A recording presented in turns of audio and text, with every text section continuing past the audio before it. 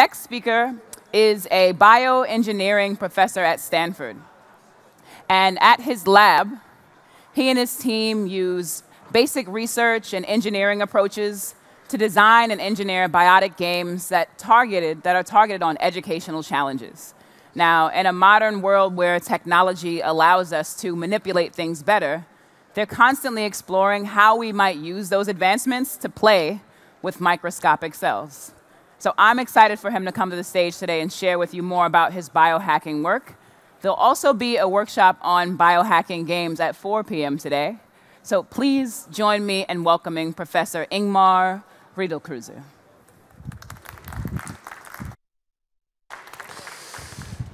Okay, welcome. It's a pleasure to be here. I'd like to thank the organizers uh, who brought me in.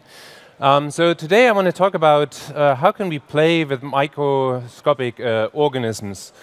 Um, so what you see here um, is a, is a touch screen where someone is drawing uh, colorful uh, pictures on it, which are then projected into a microscope onto these uh, single-celled organisms that you see here. And if you watch this movie for a little bit, you realize that these organisms actually avoid the blue light and start accumulating in these other colors. And that's kind of one of the most simple things uh, we came up with so far that uh, really emphasizes what it means to interact with an organism that is microscopically small and that we usually can't see with our naked eye. And during my talk, I will show you a number of different uh, setups that we've built for different purposes. Primarily, it's uh, for education, but you will also see that in the longer run, they will find other applications, for example, for research. Okay, so just to ground yourself, what you see here um, are computers, right? And if you compare it to, to, the two pictures, you should see a number of, of differences, right? There's, uh, maybe you just take a moment and um, think for yourself so this is basically 50-year difference. Computers have advanced a lot in terms of how good they are, how easy they are uh, to use. And you can also sum it up in saying, like, these were primarily about number crunching, and this is really about an, an interactive experience um, that even children uh, can have these days. And if you look at biotechnology, what's going on there, we can actually see many um, similarities in that uh, we now have microfluidic devices that are integrated that even have like valves on it, similar like, like transistors, and you can move fluids around in, in small droplets and make diagnostics uh, and other things happening. And similar like the image in the background, these are kind of still hard to use devices. Um, they are not as powerful yet as we wish hope to, but um, they get increasingly better and we can really wonder what will happen in 10 years, 50 years. Will we have basically the same interactivity and, and, the ease of use as we now have with our electronic devices. And so this was kind of a thing that, that came to me when I started my uh, faculty position in, in, the bioengineering department. Um, shouldn't we somehow bring these devices into the hands of people and, and make it similarly interactive? And the initial ideas ha I had was like, let's make games out of it. Uh, and so let's start from there. Um, we coined them biotic games, and there are two uh, things we are primarily interested. One is these types of games should allow us to interact with small-scale uh, organisms. It should really be microscopic. And uh, secondly, it should be somehow enabled by modern biotechnology. So I'm not talking about something which is purely emulated or simulated, and also not something which is macroscopic, right, horse polo, right, which you could call ancient uh, biotechnology, right. And so here you see an example of the first thing we've built. So this is a paramecium. It's a single-celled organism about the size of a human hair diameter. This is a microfluidic chip, about a centimeter in size, and you see four electrodes here. And whenever you apply weak electric fields, you see these little speckles. These are the cells that basically move along with the field lines, right? And so with this little game controller that is shown here, you can have a real-time interaction with these cells by uh, pushing a button, applying electric field, the cells are moving around, and if you then overlay some virtual objects, you can turn this into a game, right, by getting points if you manage to get these cells somehow swim uh, through this box and lighting up these uh, uh little dots, okay? And you can you can make different games out of it by just uh, changing the overlay, right? Um, so basically using the same same game engine and uh, in this case, uh, a soccer game trying to bring this uh, ball in, into the goal. So um, here's again uh, kind of the setup. It's, it's rather simple, hacked together, um, webcam, microscope, this uh, microfluidic chip, and then brought uh, this whole thing on, on the screen. And what this showed us is actually kind of the concept, what it means to play with cells. Um, but it also raised a number of questions. One is kind of long-term stability and, and logistics. Um, these cells usually were good for like 10, 15 minutes, and then you had to refresh them, right? So it's not like plug-and-play computer as, as we have.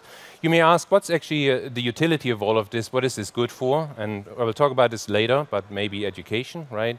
We can talk about uh, the hardware, how programmable is it? How hard is it actually to develop games on, on these, these types of platforms? Uh, is this accessible? So could all of you do this at home, or how would we uh, bring this uh, around? Um, may I ask, why not just simulating? Wouldn't that be much easier? Um, just write a computer program and emulate this for you. Are there ethics involved when you, when you play with microscopic organisms? And a number of, uh, of other questions. And throughout my talk, I will basically answer a few of those and show you where we went since uh, our initial uh, publication on, on this work. So in this first uh, project, I want to talk about is uh, we used uh, a different type of organism called Euglena for the reason that it's actually uh, phototactic, uh, so sensitive to light, which is a more easy to apply stimulus than what you saw in the last one, and where we uh, wanted to make games that could be played on a phone and on a cell phone, and where you also could even build the system yourself. And this is kind of also motivated by the educational value of interactive toys that you see in other uh, areas. Specifically, robotics um, is uh, very good at enticing kids and students to learn about mechatronics, right? And similarly, more recently, um, there have been these uh, competitions of saying, hey, children, program video games and thereby learn programming. And we don't really have these kind of things in the life sciences, right? These kind of interactive uh, things. So these are these Euglena cells, um, 50 micrometer in size. They're a little bit smaller than what you've seen uh, previously. Um, if you follow them for a while, you may actually realize how they um, uh, move around, how they roll around the long axis. You may also see some speckles here, which is either dirt or kind of smaller bacteria uh, on a much smaller scale. If you also watch it for a while, you actually see hydrodynamic effects at these, these kind of different uh, length scales. Um, what does this organism look like? Here's uh, the cell. It has this flagellum. It actually has the flagellum at the front, so it would swim this way. Um, it's the same structure actually as a sperm tail or many other organelles in, in, the human body are. And the other important feature is this little red eye spot here, which is actually sensing the light, and it basically has one eye, and it's, um, it's a zero-dimensional detector. So only in the direction it looks, it can recognize whether it gets um, uh, darker or lighter. And so with this flagellum, it can orient, it can roll around its own axis, but also orient itself in 3D space. And what the organism is doing is swimming along a trajectory, rolling around its own axis, and then there's a feedback loop between the eye spot and the flagellum, and thereby the organism is capable of doing phototaxis, either positive, so if the light is very weak, it goes to the light, but if the light is very strong, then it actually moves away from the light. And usually we use the, the negative phototaxis. Um, so here's the setup that we've built, um, just to concentrate here. So we have a quasi 2D plane, like this uh, microfluidic chip, where the cells are, and then we have four LEDs controlled by a joystick, and depending on from which direction you shine on the light, kind of the cells start moving away. Some simple optics, and then the phone. So here's the kind of the whole setup uh, in real. You recognize the phone, the optics here, and, and hard to see under here are the four LEDs, and then also the cells. Here's the, here's the joystick. Um, and so we um, made games similar like uh, the ones you saw before, uh, kind of shown here. Now in this case, we actually already tracked the individual cell, right? And uh, you see in this inlet here uh, which from which direction actually the light is, is shining and then kind of driving these uh, these cells around. There are also some other things uh, that are augmented. For example, you see the current speed of the cell, you see a scale bar, you see the cell which is currently tracking and enlarge. And these kind of things are meant to emphasize uh, to uh, the person who's playing um, the kind of biological content, hoping that by playing these games you would also learn something about uh, biology. Um, here's another example, more Pac-Man type style game, right, where you kind of try to let a cell move around uh, along these boxes uh, and, and, kind of collect all, all, all these objects. Um, here you see actually the swimming trajectory at the end of this, this particular game. And so while doing so, you actually learn something about how noisy and how unpredictable the biological material is. Building this particular setup is, is kind of summarized in this uh, scheme here. So this is 3D printed microscope. Here's the electronics, and that would be kind of the thing in conventional mechatronics classes you would learn anyway. But then there's some optics involved here, and there's some simple microfluidics where with some double-sided tape and some plastic, you can actually can create these chambers and, and integrate these life forms um, in, into the setup. And ultimately, you have this uh, little uh, setup here with the four LEDs and the chamber in, in between to kind of uh, um, affect these, these organisms. Uh, if you want to program games, uh, you currently need to do this in Android, which is a little bit uh, a harder thing to do. So that's why we also um, uh, supplemented uh, additionally these activities with the Scratch programming languages, where you um, kind of you build a little simulator for these cells, and you can even emulate these these types of games here, which is also good for kind of prototyping these games. Um, what can you uh, do with this without uh, playing games? You can put this thing on a regular uh, microscope. You don't need to build a microscope yourself. So here's the, um, this uh, interaction chamber and um, uh, cell phone. And then, for example, you can uh, do interactive experiments where you pick a cell, turn light on for different times, and then actually make measurements afterwards. How fast do the cells move? How uh, fast do they respond to light, things like those. And right now we are kind of in the middle of, of, of um, uh, user testing, both with uh, teachers and, and with children, which is kind of summarized here. This is kind of a number of things the teachers uh, found interesting about it. Um, interestingly, teachers are not that enticed about games, uh, children are, but what uh, the teachers certainly found interesting is if you can build the system yourself and furthermore, if you have a screen where you even can select uh, individual cells and, and students can uh, discuss what they see is actually a big advantage over just looking through a regular microscope. And here's a number of things that uh, actually kids draw after they played uh, with these cells. Right? For example, see here like one, one child uh, kind of drew a little X on these cells, kind of emphasizing that this child understood that it's real, but not realizing how, how it really works also teach a class at uh, Stanford with students where the students are supposed to learn uh, how to build uh, devices in, in, bioengineering. And essentially, they build um, a little bit more complex microscope than, than what you just saw. But while doing so, they go through the motion of, of very different um, learning activities from ca uh, CAD design, electronics, fabrication, microbiology, real-time object tracking, and, and, so forth. And we actually published uh, kind of this coursework. So if you want to uh, do a course like this, um, uh, we have all the instructions there. So to summarize this part, um, the idea here is um, that we have a, a setup uh, that you that is educational in kind of three different ways. Uh, you can build it yourself, you can play with it, and you also can do real scientific uh, inquiry. Right? Okay, so. Another way of bringing things uh, to people rather than letting them build yourself is you put it on the web and let uh, students or children access it uh, through a website, right? And so we built uh, essentially the same system that you just saw, um, but put it on a website where this is uh, the site. You have a microscope view into the uh, microscope and another external view, and you have a joystick here, which is in this case now, a virtual joystick. And depending in which direction you, you, you pull the joystick, LEDs come on and uh, move the cells around. So we haven't implemented any games on that, but uh, it kind of emphasizes that you can go online and do interactive experiments, right? Um, so we ran a number of studies. So this is uh, a collaborator of mine in the Stanford School of Education, Paulo Blikstein, and the students of his, where we uh, went to San Francisco School, where the students then logged on to our system and ran experiments and also data analysis. Um, so here's uh, how a typical study design, but also the, the lecture itself uh, would look like. Lecture goes for about an hour, so there's some pre and post test, and then the student would first do some experiment, some data analysis, and, and then some uh, modeling. So you have an impression of the um, student activity. Other students did the experiments their own, or kind of they all did it in front of the class. Uh, interesting fact, due to firewall considerations, other things, and bandwidth limitation, it's often easier in schools to kind of just do it um, kind of front of a class. Also leads to better, uh, better discussions among, uh, among students. So they do an experiment or a couple of those, then they get the data, um, then they can afterwards look at the movies they have generated and, for example, can count how many cells have responded to light, how noisy is it, how fast do they respond, uh, things like that. And then as a third component, uh, we built uh, a modeling interface where you see in the background actually the real cells, and there's one cell traced out and then we emulate uh, one cell with 3D physics uh, realistically, and the students can uh, basically tune three parameters that affect the cell's motion or the motion of this, this model. One is the forward speed, one is how fast it actually rolls around its own axis, and the third one is how strongly this uh, light uh, is actually coupled uh, to the change in motion, so how light sensitive the organism is.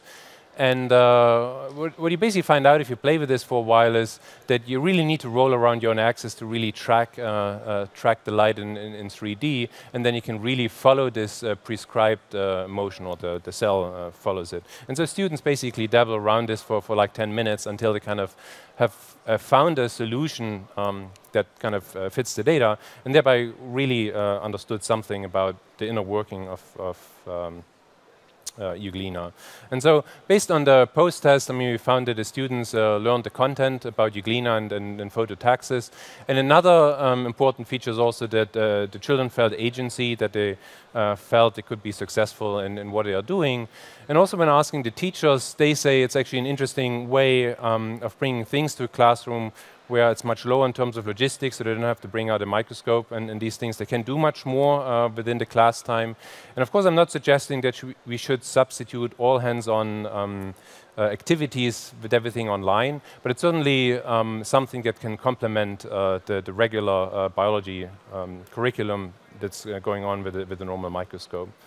And um, I also taught a, a, class with my student uh, at, at Stanford where um, this was a little bit more advanced, where the students after the experiment basically uh, get their data, they can, can offload, they get a movie like this, and where all the, the cells are automatically traced, and then they can, can analyze these movies and, for example, test hypotheses of whether these cells uh, change their velocity when um, uh, light is on versus off. And, and, surprisingly, actually, when you turn on the light, the cells on average uh, seem to swim uh, a little bit slower.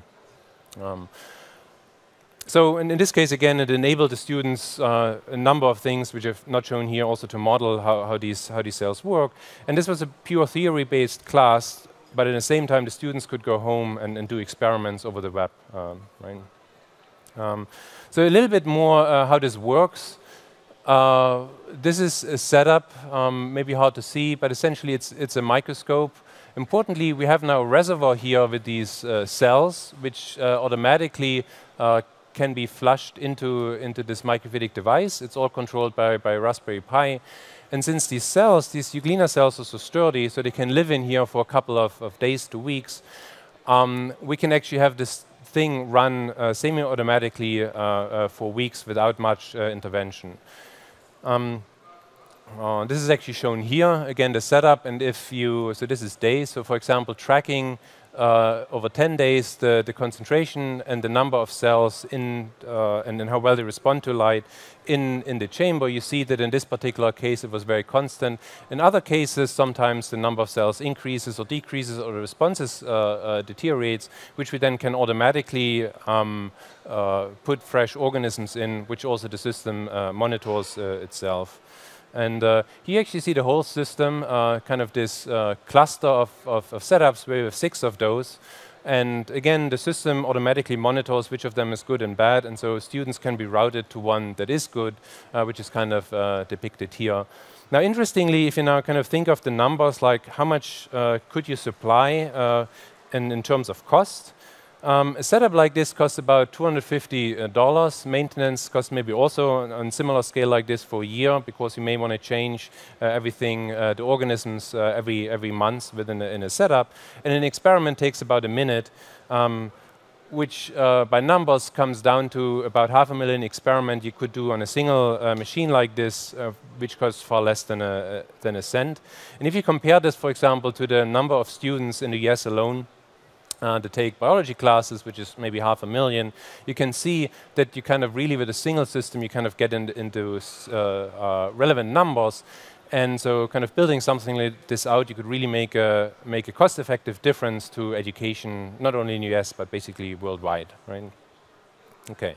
So kind of to summarize this part, um, so we can do biology experimentation in, in the cloud, certainly at cost, at scale. We can think about putting other experiments on there.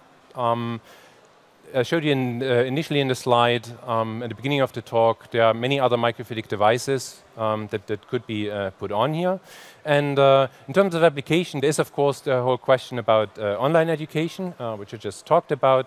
We can think about um, letting scientists actually run experiments on there um, that usually don't have access to, to equipment. Um, we can also think about better utilization of equipment in general, and you may also have heard of uh, citizen science uh, projects where we could even uh, hope to let the public uh, do experiments on, on, these kind of systems and hopefully discover uh, something new. Okay. Um, now I want to talk about a project um, where we uh, were interested to bring uh, this kind of interactive experience into science museums and really have this much more touch-like uh, interactivity that I showed you uh, earlier. So this is again uh, the, uh, uh, from the very first slide. I think the um, where um, you basically can draw on a touch screen, project onto these cells, these again these Euglena cells, and have a real-time interactive experience. Here uh, is the depiction or the, the schema of, of, the setup, the touch screen. You have a regular projector. It's actually a pico projector with a slightly different optics. You project it into a small scale. Then you have a microscope, microscope camera, and you have a closed loop feedback. Um, you can also actually look through the eyepiece of the microscope and even see inside, and not only see the cells, but actually also see what you're drawing. And then also schematicized, you have this automatic culturing, which makes it for a rather stable uh, uh system.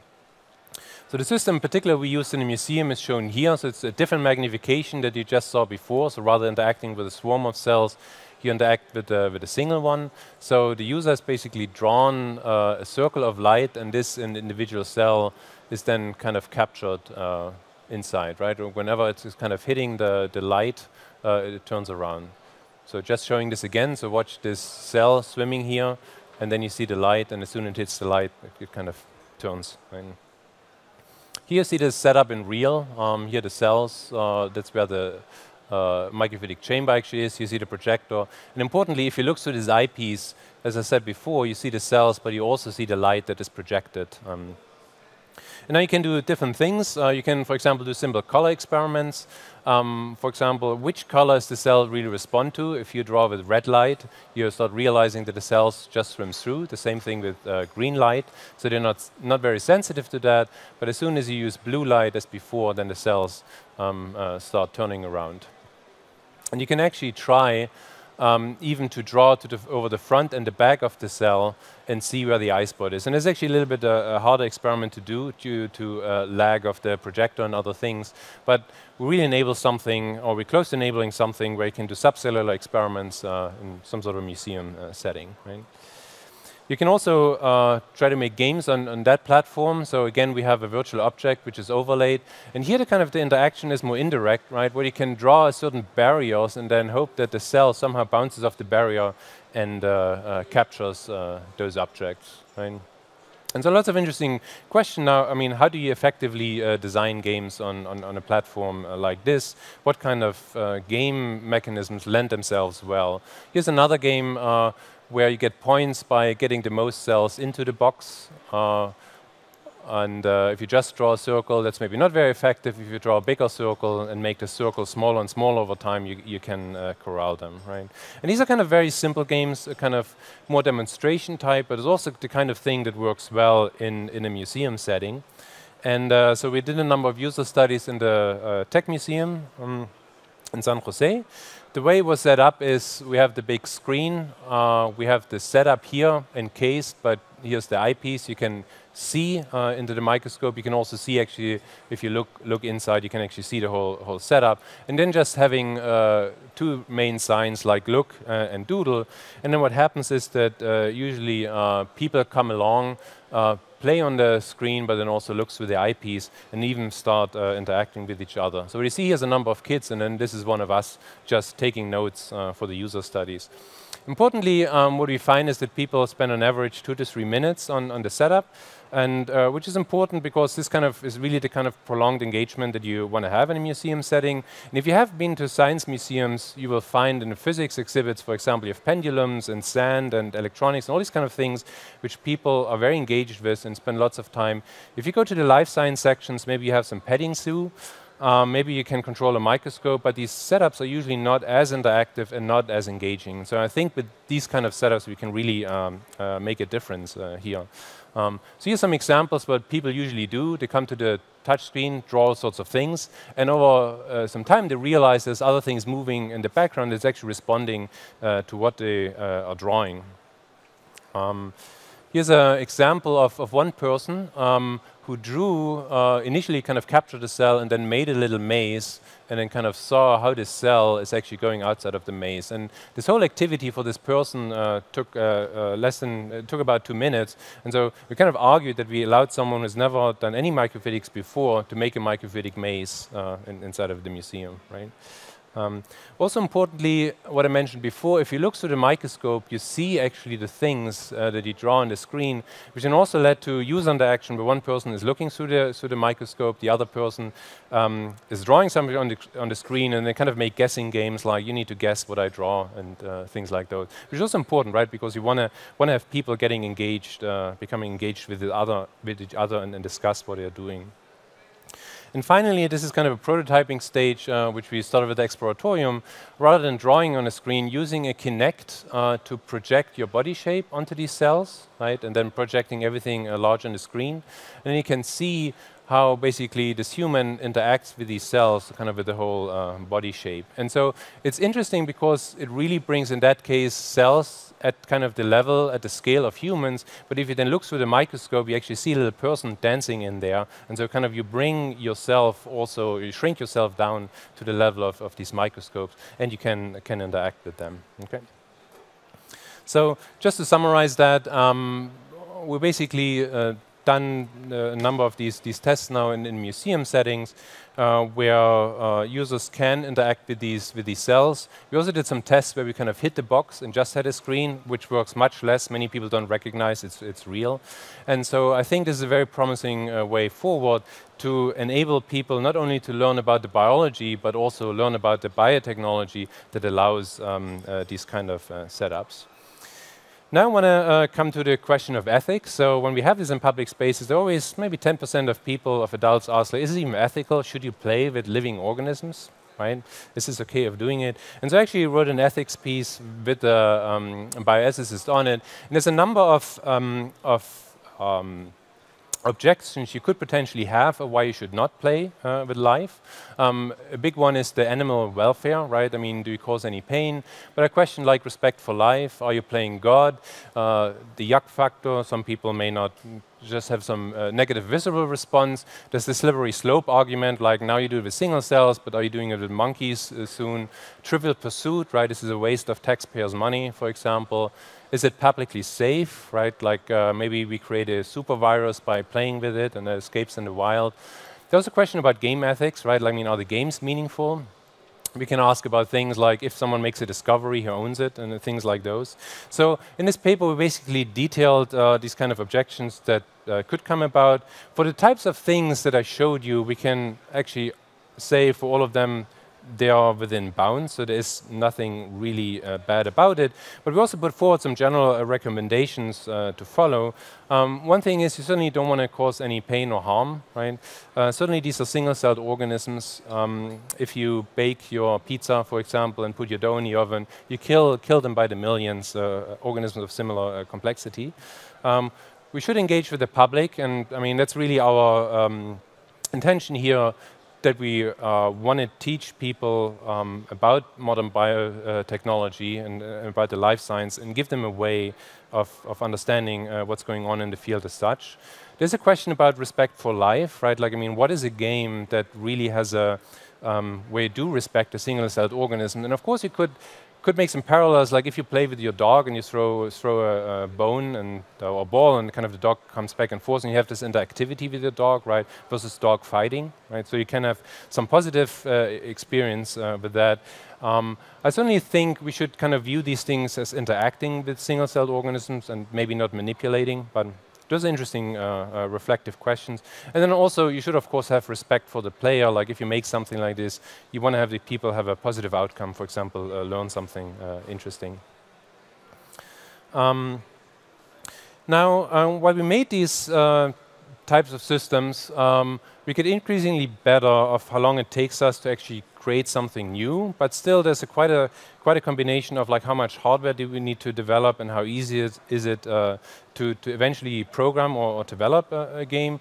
And so I'm kind of um, and also kind of interested, could we create something which is eventually like kind of the microcomputer that uh, came uh, big in the late 70s and, and 80s, where you could basically play games on, on, a, on, a, physical setup, but then also program them much easier by saying, like, if you have a number of cells that you want to execute some tasks, right? For example, come together, move in a certain direction, then move up. Could even write a scripting language that does these things for you, and if you can, does it make, for example, um, game design much, much easier? And so the setup um, uh, that we use for that is, is, basically now combining the two that you saw before uh, with a projector from below, but then also uh, LEDs from the side, which gives you um, both spatial and uh, global um, um, uh, control of the cells. And so this is shown here uh, where with the projector you create a, a, barrier and then with light from this side you actually drive the cells in, into a certain position and then later you close this, um, uh, this box off. You can for example have a command which says like concentrate cells at a particular position which does nothing more, creating this light barrier, driving the cells in and then you have cells at a, at a high concentration, right? Another command you can come up with is clear screen, where you kind of define a region have light from this side, and over time basically clear off uh, the whole area. Right? And so you can see how you can develop a programming language around that, uh, executing these, these various commands, maybe even combined with uh, uh object uh, recognition. And here's some example of uh, what a game then could look like here. This is kind of the initialization of the game where we try to clear off this area, but at the same time concentrate cells here.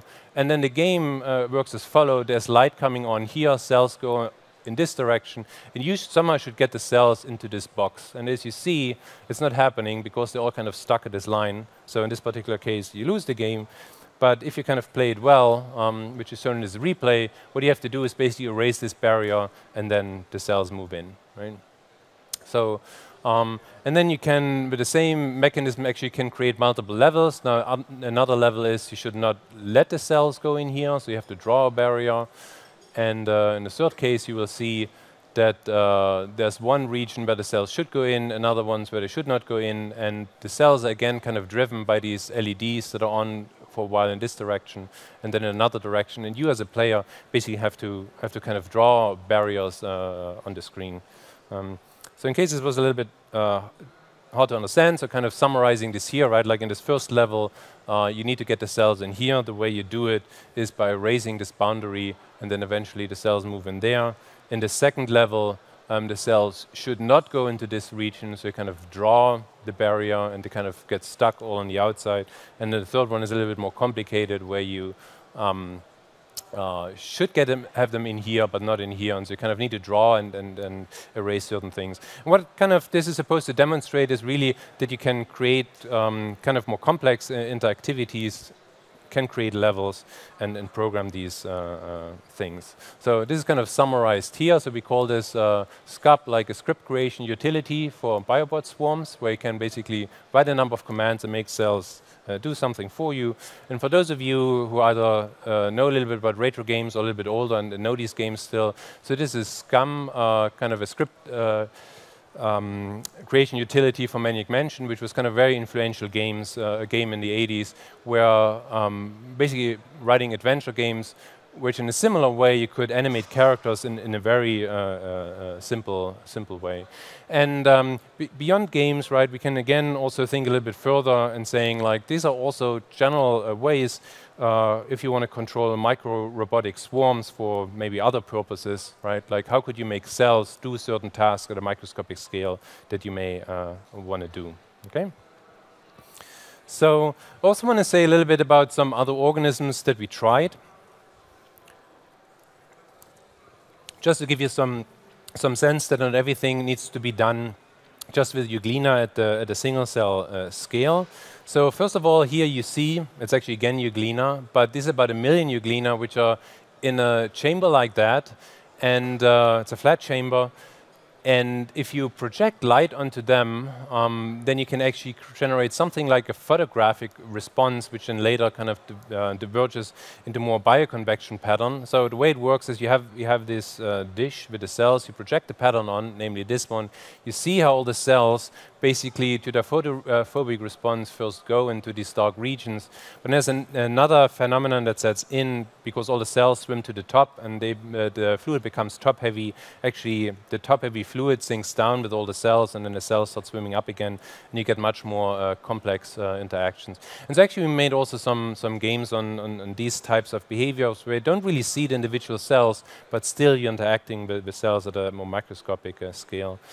Here's a, another cell which is called, uh, it's actually not a cell, it's a multicellular organism Volvox.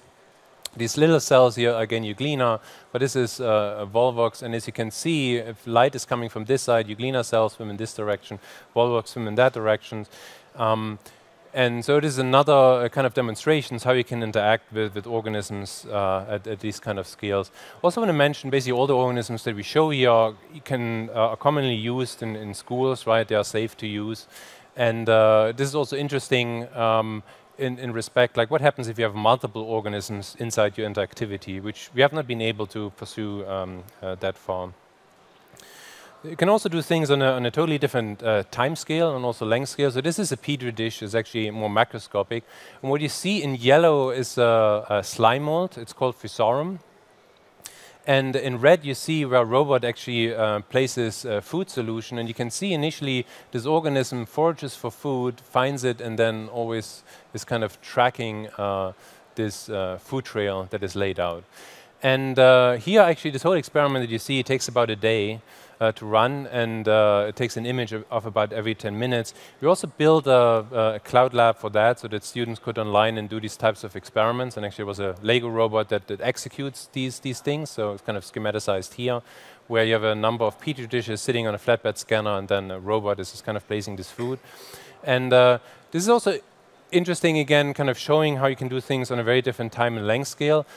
But since it takes about a day, the interactivity is, of course, uh, uh, totally different, and the throughput is much slower. Also, the logistics of running something like this, like making petri dishes, putting them in there, um, is, is, is, much, uh, much higher. But so I ran this uh, over 10 weeks course um, that I uh, taught for biophysics uh, and bioengineering students, where I kind of did these types of experiments and then also made models and, and analyzed their data. Just also to note, like with these uh, Lego robots that we built, you can then also do all sorts of other fun things. For example, um, pipetting uh, uh, food colors in, in uh, this standing plasticware, like this 46, uh, 24 well plates here, for example, right? Like making concentration series. Also more complicated experiments like um, doing gene uh, induction. And here's another um, um form factor, another robot that we've built. It's actually a one-dimensional robot which only uh, moves along one, one dimension.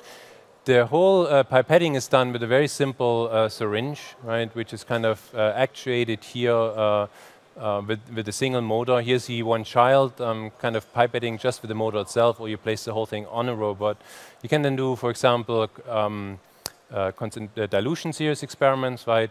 Or you can do uh, salt layering experiments where these different colors have different concentration of salt, and you can then kind of nicely uh, stack them on top of each other. Also, this particular robot um, is built solely from the pieces in, uh, in the educational Lego Mindstorm set, the new EV3 set. So if you want to build this, I mean, just having the set, which many schools have, you can actually build this and do experiments along those lines. Um, we have tried a few things also with more biological uh, um, critters, like for example putting yeast in and feeding different uh, sugar solution. Um, right now with these colors, that, that seems to work uh, um, much better and, and, more easy. But we kind of advanced this forward. And here the idea is also, again, this whole uh, mechatronics field, right, like these Lego robotics competition things that are primarily about uh, about robots that can maybe move around, that kind of shoot balls. How can we integrate those into more uh, life science? How can we bring these fields together? Also, the question of whether this would be more attractive actually to to um, girls and female engineers. Um, who are maybe more interested in artistic uh, aspects and maybe biology, and thereby bringing these, these, these fields together. So let me uh, come to um, towards the conclusion, kind of reflecting a little bit more. If we want to make these kind of interactivities work, uh, what we certainly need is, is, biology, and we need the devices that have an actuator and a sensor. Right? May sound obvious, but if you go into a conventional uh, biology lab, you usually have things that you can either manipulate biology or you can measure something, but often uh, not both. And so we call these uh, things in general biotic processing uh, unit or, or, BPU. And uh, for, in order to make them really convenient to use, it's actually beneficial if they have a digital input and digital output layer that are kind of well defined, which is the case, for example, if you have a standard webcam and a projector, right? They directly interface with your computer. Um, if you go, for example, to this very first Paramecia game that I showed you, um, where we really had everything soldered um, uh, ourselves, you kind of lose this kind of uh, ease of, of uh, programmability and, and, and, interaction. And uh, if you look at all sorts of other um, chips that you have, uh, like CPUs, GPUs, right? It's kind of the similar idea. That's why we call this BPU, where you have digital input and output, and uh, there's something in between, which in this case now is not only digital, but there's some biology that, of course, has some more or less uh, noisy response, but hopefully uh, still defined in, in, in, certain boundaries. And uh, you can now ask, what's the performance uh, metrics of, of such a, a, system, right? What's the clock speed, things like those. Um, uh, one way, presumably the most meaningful way of, of, measuring the performance is the mutual information that you have. Basically, if, if you would apply a stimulus and nothing would respond, then it would not be meaningful for any sort of interaction. So you can ask, like, how much if, if you put a stimulus in, how much response do you get out of it? And to make this a little bit more, more illustrative, if you have these, these euglena that maybe respond on a time scale of about 10 seconds, if you just have two LEDs and they respond uh, to your input, then you can say maybe you have one bit per 10 seconds. If you have two LEDs, you have a mutual information above two bit uh, for 10 seconds. If we have like um, this projector-based system, and you can even subdivide it into many areas where different people, for example, work on different areas and different colors. You can increase that. And uh, just a very contrasting case with this Physarum that I showed you earlier, with this chemical stimulus where an experiment runs about uh, a day and where it takes uh, the organism uh, about 20 minutes to kind of react to one drop, you get a drastically lower um, uh, mutual information out of the system, right? So the throughput is much lower. And these kind of things are important if you're saying like you want to, for example, make a cloud lab where you want to teach a million kids or allow a million kids to do something, you can put these kind of metrics and saying like how powerful is this uh, or not. So um, conceptualizing uh, on the left half, you see all kind of the digital things um, that uh, we are so familiar with, right? And uh, as I said, what we need is always stimulus, stimuli and, and some sort of a sensors with the biology in the middle to kind of uh, drive these things. But then mostly what we've what I've shown you right is working with light stimuli and, kind of camera sensors which are very very convenient uh, to handle. What we would love to do more in the future is of course having uh, much more biological stimuli for example what what happens if you apply chemicals and also more um, biological uh, sensors. Can the cell for example change its its uh, color and other things. And there's lots of enabling uh, technology that's getting increasingly better, as I mentioned before. We have all these microfluidics that get increasingly more complex, but you can also think about uh, genetic engineering where um, you can basically create um, or manipulate uh, certain um, uh, cells, for example, to be more responsive to light or other stimuli. And all these kind of things will enable us to create uh, these kind of interactivities um, uh, better and better in, in the future. Um, and also, uh, kind of, uh, if we compare uh, the uh, computer science and computer technology to the biotechnology, you can actually argue depending on which kind of standpoint we come from, you can argue there's maybe a 50-year lag, which kind of is a good thing to extrapolate in the future. For example, there has been the foundations of, of, quantum mechanics, right? And in the life science, we have like the, the structure of DNA. They were kind of the, the golden years where most of the discoveries uh, were made. And then in the uh, late 40s, right, the um, transistor and the integrated circuits came around, and then over the uh, past decade since then, we had all these uh, increasing advancements um, in consumer technology and so forth. And similarly, kind of these um, uh, equivalencies to, to transistor and integrated circuits now exist in, in, in, in, biotechnology. And we can ask when were the first uh, games made in, in the life, uh, in, in electronics, right? This happened soon after the first, uh, these, these things came about. And so it's pretty fitting that we now make games on, on these types of platforms. And we can also ask, like, when will you do this at home? When will you have things that, that uh, like a home computer?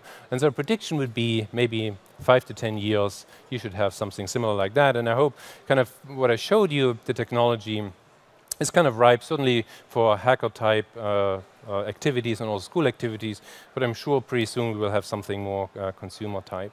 So to summarize, uh, what we're interested in is really how can we interact uh, with cells uh, on a microscopic scale.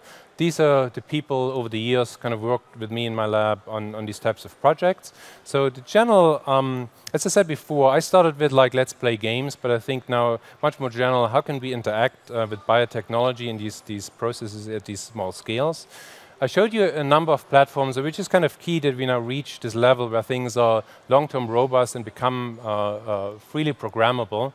Um, showed you different different things, uh, phone system, kind of these museum type systems, and also these cloud experimentation systems, which are know, really allow us to do things at cost at scale. Uh, key feature is really thinking about kind of the core unit that you can interact with, these biotic processing units. We have biology in there, but which essentially has like digital input output, so you can uh, interact uh, with it or interface it with your with your digital uh, world that, that, that we are so used to now. And there's a number of, of uh, applications. Certainly, education is, is right now formal and informal education the most promising uh, one. But in the longer term, I think we will use these for research. Microrobotics and, and, and other things. So, and uh, looking forward, what else will come out of it. And uh, so contact me if you're interested in kind of working with, with us, collaborate, and also if you want to uh, have more information on the papers um, that we've published. So thank you very much, and have some time for questions.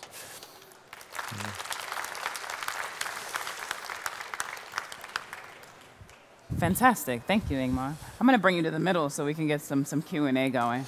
Uh, so we're going to open the floor for questions. We've got time for a few, and the catch box is ready for you. You can join me over on sure. this side. Any takers? Oh, and I also want to emphasize there's this workshop in the afternoon, right? Like, so come to that. Yes. It's at four, right? At four, four o'clock, okay. right in the science workshop space over there, biohacking games, and it's student led. Yeah, it's student-led. Um, thanks for the organizers who put all of this up here, who are in the audience. And uh, yeah, so you can try some of these things yourself. That's the idea. Awesome, fantastic. So I do have a question for you. This was really exciting, especially to see how much middle school students pick up the experiments. Um, what are you most excited about next, and how does it look like getting other teachers to take on these things within their classrooms? So certainly I would be excited if it gets out more and used more, right, by other schools, by hackerspaces and, and so forth. So that's one thing. And the other is, I would be excited if, if um, a school supply company would kind of, for example, sell a kit that uh, would easily be to be purchased and uh, schools could, for example, uh, build something like that. Similarly, I would look forward to be able to buy a computer equivalent, like the equivalent to a home computer. That would be cool. Um, yeah. Right. Any questions from our audience? Awesome. Passing this over to you. Okay. Yep, speak right into the top. Oh, okay. Yes. Um, I have a question. It's uh, cloud computation. So, cloud computation, experimentation. What's the limitation to bring it to a research lab? I'm a researcher, so that's my major interest so far. So, what do we have to do in order to have it in my lab and work with it? Okay. Okay, so question about using these things for, for research. There's certainly the question, do you want to do all sorts of experiments you dream of? And then you come in this limitation that right now you saw like it's about euglena, it's about light stimulus, which kind of sounds rather limited. But if you go to a normal biolab, right, like you want to work with different organisms, all sorts of stimuli. And so there are some commercial cloud lab companies now out there that pursue that kind of uh, things, where you hit a totally different price point, like it's much more expensive and it's much more, um, the throughput is much lower. And so I think it's really really the question, do you want to do this for education or do you want to do it for research? You would kind of design these things differently. I still would think if you want to do something like have theoreticians that are interested in microswimmers um, work with this, they should be able to work on our platform. Or if you want to do citizen science, where you say like one have 10,000 people all do very similar experiments that are simple, you could also do that. But real research, you may have to go um, to much more advanced um, uh, pipeline of, of experiments that you can deliver. Thank you. Hold on to it. We've got room for one more question. Anyone interested? And you get to toss that green box around, if so. All right, you can pass it back to me instead. Thanks. That was way better than the toss I gave you. Thank you. Uh, one more round of applause, please, for Professor Ingmar Riedel Thank you. All right. Thank you very much.